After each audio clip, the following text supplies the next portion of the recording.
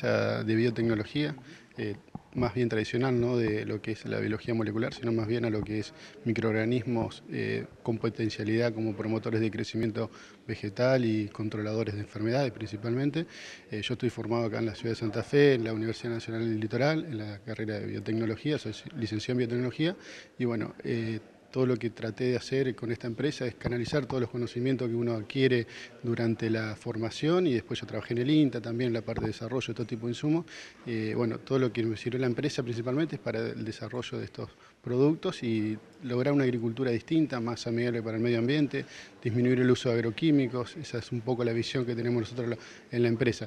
Este, este programa nos sirvió mucho para lo que es el ver la imagen de a dónde podemos ir como para salir a exportar nuestros productos.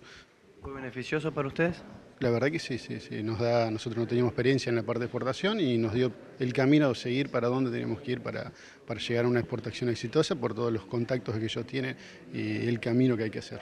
¿Han logrado lograr alguna exportación o están en proceso de ello? Estamos en proceso de ver eh, para salir eh, con este, esta herramienta, es la que nosotros vamos a analizar este año. Todavía estamos financiándonos en la parte local y la idea es este año ya empezar a hacer algunas, algunas eh, experiencias de exportación.